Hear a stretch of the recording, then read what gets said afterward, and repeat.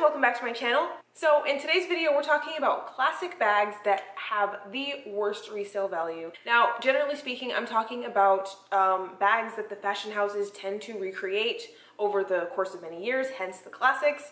And that does include in classic and regular normal colors. Now, the purpose of this video is not to say that these are not good bags to buy. Um, some of them may or may not be some of my favorites, and that's really not the point. Um, but I do work in the resale industry, and part of my job is to actually appraise handbags and assess a dollar value to them. I guess the information in this video could be used to determine if you do love any of these bags, whether or not it's best for you to buy them on the pre-loved market instead. Because if you do decide to sell it, then you may still be able to sell it for the price that you purchased it for. However, if you do go out on a limb, if you do take the risk, take the plunge and buy them at full retail, you may be disappointed when if and when you do decide to sell it later on, which is why I'm a huge advocate for the pre-love market. Hopefully this video is helpful to you. Comment down below what is the bag in your collection that you have taken the most loss on. I'm very, very curious to know. Mine personally, um, hmm, what have I taken a loss on?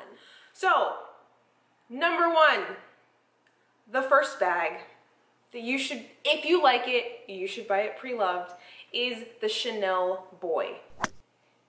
So the Chanel Boy comes in, I believe, three or four sizes. They also make a wallet on chain variety. This bag ranges in price from 4500 currently uh, in the small size, then it goes to 4900 for the medium size, and then the larger size go for uh, go for 5400 so that's $5,400 is the top price that you'll expect to pay for the largest size of the boy bag. Unfortunately, these prices do not hold for the resale market. So this, in my opinion, is due to many, is due to a couple of different factors. Um, but I will say that it is a bit trendier and I don't view it in my eyes as necessarily as classic. The other thing that you really have to take under consideration is that the, le the leather on this bag is a bit softer. This bag is designed to appear like it's going to be structured. However, um, once you load it up with items, the structure, and, if, especially if it's not maintained properly, the structure doesn't hold very well. Now, it's known to sag in the middle and um, in the bottom as well. I've seen it in the past uh, if it's not cared for properly and if it's overloaded and also worn crossbody too often um, you can actually get a dent in the top of this bag. So in my opinion, if, if, you are going to go for this bag, I would try to find it in the most durable leather possible. There's also the clasp on the outside of this bag. You will tend to find nail marks and nail marks just from um, scratching it when trying to get it open. And then as well, um, I wish I had one here to show you, but unfortunately I don't. Um, but as well, when you do go to close the bag, a lot of the time people will end up sort of like pushing it together and over time, that's how you get a lot of the squishing in the boy bag. Now, all of those are only condition notes um, on why this bag doesn't tend to hold its value, just because, and generally speaking, if it's not cared for immaculately, uh, the condition tends to go. That is reason number one why this bag does not tend to hold its value. Now, you guys may know I'm not a particular fan of the style of this bag, but I do think that it is pretty represented. Um, I think that most people at this point who have this bag already have this bag. And in my experience, it is really, really tough to sell the Chanel boy bag very much more than $3,000. Right. My personal favorite size of this bag is the large size. Um, the reason for that is because in the smaller sizes of this bag, you sort of have the look and feel of a big bulky boxy bag without the ability to hold anything inside of it. Um, so it's like deceptively large, if that makes sense. So in my eyes, if you're going to be carrying a, a, bulkier and larger looking bag, you might as well be, have the ability to carry things inside of it, which is why I personally prefer the large. I will tell you that I am among a very small minority of people who prefer the boy bag in the large size. If resale value is something that's important to you when buying the Chanel Boy, I would opt for the small size, possibly the medium size, but I would not go for the large. That's the size that I like, but you know, I am also, also bear in mind, I'm not a particularly big fan of this bag to begin with. So it has been my experience that it is very difficult to sell this bag over $3,000. And if you have spent, let's say on the lowest end, 4,500, ideally you would want to be able to sell it for 4,000. And I just generally speaking, don't see that as a reality for that bag in any size and especially if you were to get the largest size at, at $5,400 it still holds that you, it's really tough to sell them for much more than three unfortunately so the next classic bag that doesn't hold its value is the Dior Lady Dior. I'm talking about the medium size. Uh, the medium size retails for $4,500 thereabout. Um, again, everything will be linked. All the information I have will be linked down below in the description box as well as some pre-loved options. The Dior Lady Dior in the medium size is a bag that they have been making since I want to say 1994. Um, any bag that has been re-released for 20, 25, 30 years, there's going to be a lot of them on the market. So that's definitely something to take into account. Um, if you are going for something that classic, then in my eyes, it's better to go for vintage and because you can generally save a lot of money. It is worth noting that the mini size of this bag is about a thousand dollars less in price. That's not something I'm generally used to seeing from designers. Again, it's been my experience that the difference in price between sizes of a bag will usually be like not much more than $200. If you look at brands like Louis Vuitton, their price differences are like $20 different. So that way um, you sort of get people who are deciding which bag they want based on their needs versus deciding which bag they want based on the price. So to find the mini size at about $3,500, um, so $1,000 less than the medium, I think it's a much better buy at that price. Um, those tend to retain their value a little bit better generally um, because it is a newer size, but just know that if you are going for the classic size that has been made since 1994, there's going to be competition of a ton on the market that are older and that's going to mean that the price is gonna, going to be less. So if you really like the Lady Dior in the medium size, I would definitely consider going pre-loved. Unless you want the mini, then I think it might be worth it to get it retail if you can find a color combination that you like. So yeah. The next bag, that if you wanna buy it, buy it on the resale market. The Louis Vuitton Keepall Bandoliere. And this is important, in monogram, in monogram, or even damier ebene, even damier ebene. Now, just want to let you know that they make this this bag in a variety of different canvases. I want to say it's maybe four or five of them. Just know all of these colors are the same price, and that's the important part. If you want to get it in the monogram, I would get it pre-loved. However, I do recommend, if you want to buy this bag, to buy it in the monogram Eclipse or the damier graphite. First of all, the treated leather is black. Um, it's a lot easier to match. It's a little bit of like a newer style and it's not going to show wear in the same way that anything with vachetta trim will. And these are newer, therefore you will not see a ton of them on the resale market. So the 45 centimeter retails at $1,800 and for every five centimeter, five centimeter size difference, it goes up by $20. The 45 I've heard people say is a bit too small. You guys know how I feel personally about duffel bags. I'm not a fan, I just don't wanna carry them.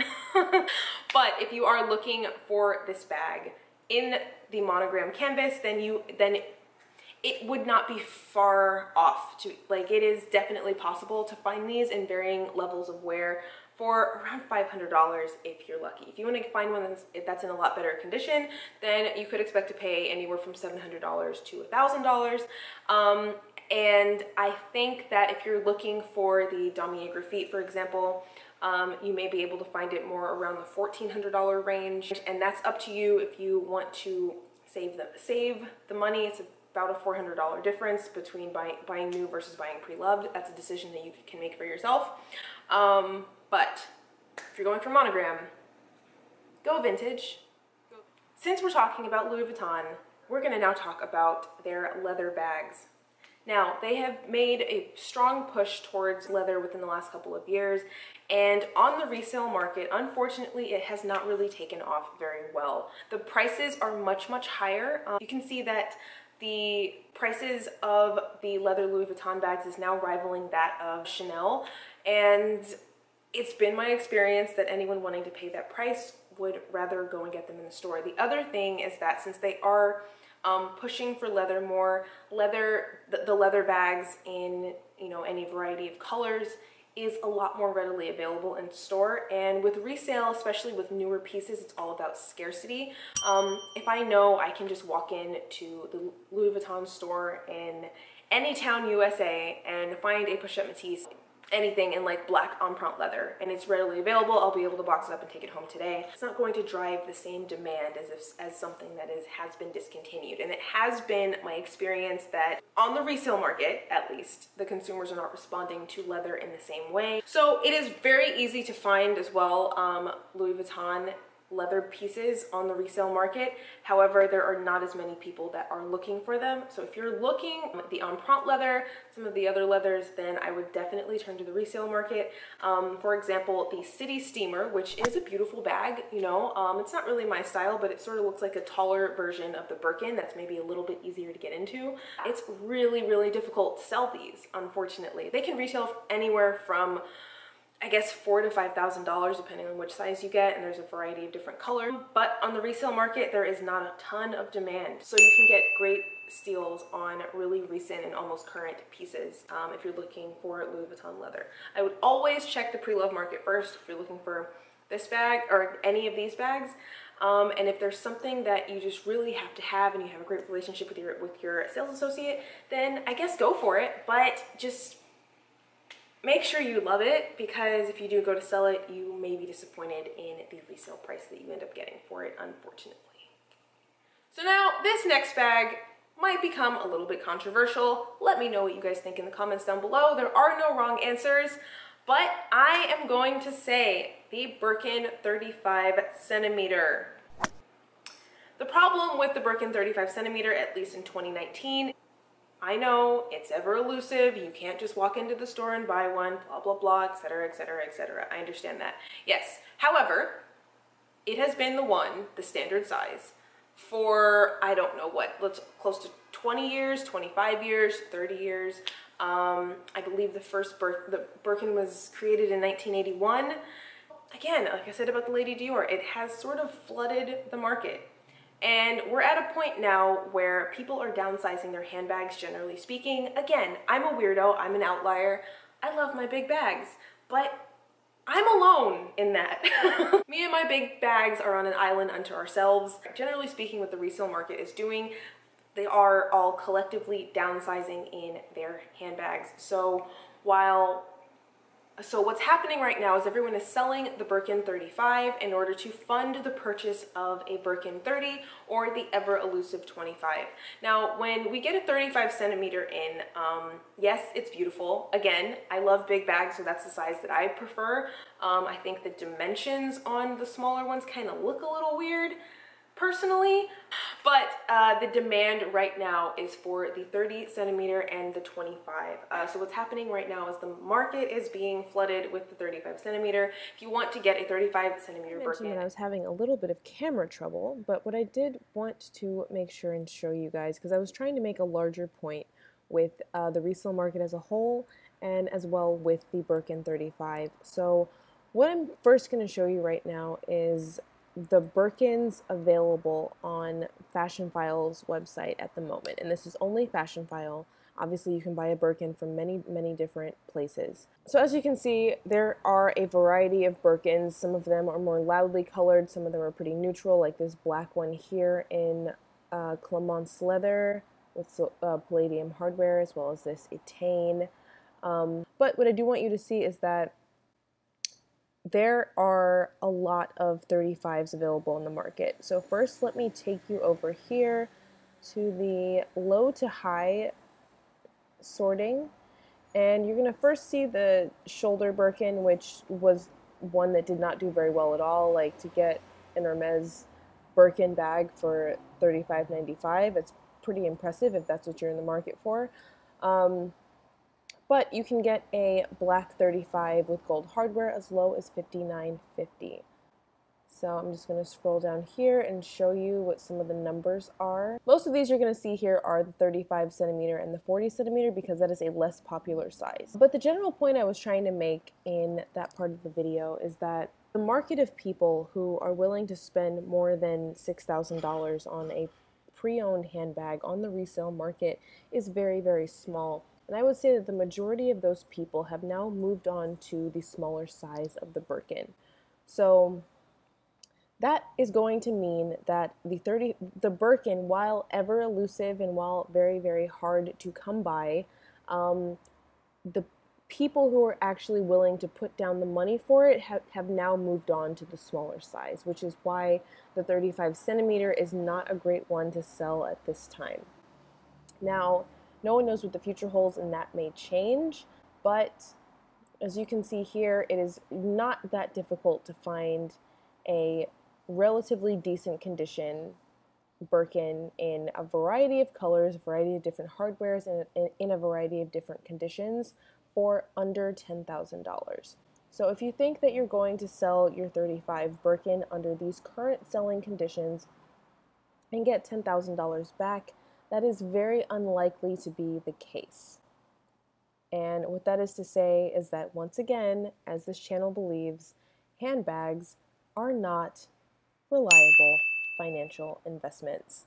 I didn't get to say that in the filmed part of this video, but you guys know that that is my stance on that, and I do not believe that to be the case. Now, if you want to go back up to the top of the screen and look at the high to low end, you'll see a couple of crocodile. This one right here is to die for. Oh my god.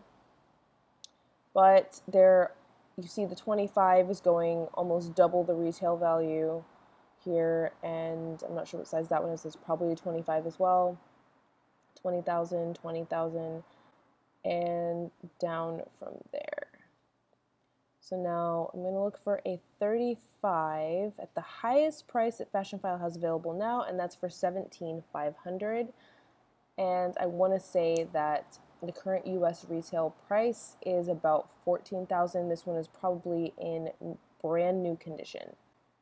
I don't know what brought this one up so much higher than all of the rest, but there's got to be something to it. So the next 35 that we'll get to is this one here going for 16,500.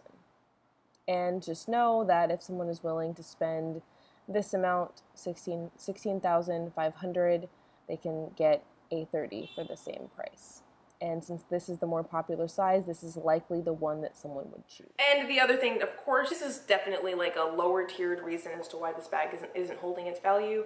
Um, but the lack of shoulder strap is a problem for a lot of people. Um, a bag that size can does tend to get very, very heavy. And you kind of want to have a shoulder strap when that becomes the case, which is why I do see an argument for the smaller sizes of the bag. But I just don't like them that much. My personal opinion. I don't know. But then again, no one's out here spending five figures on Hermes bags and getting on wait lists because they're looking for something practical. So, eh. I thought I thought I'd throw that point in there, but it's that's not really important. so, I hope my experience in this was enlightening. Let me know what you guys think in the comments down below. Um, these are, once again, all of this is just based on my experience. Your experience with a lot of these bags could be very different, um, but I'd love to hear your thoughts. Please comment below if you agree, comment if you disagree. I would like to know your experiences as well. Um, if you like, if you love any of these bags, I'm not saying don't purchase them. I'm just saying that perhaps to consider the pre-loved market to try to find something in good condition um, before you take the plunge and spend full retail. That's it. so I hope you guys enjoyed this video and um, comment below if you have any suggestions of what else you would like to see and I will see you in my next one. Bye!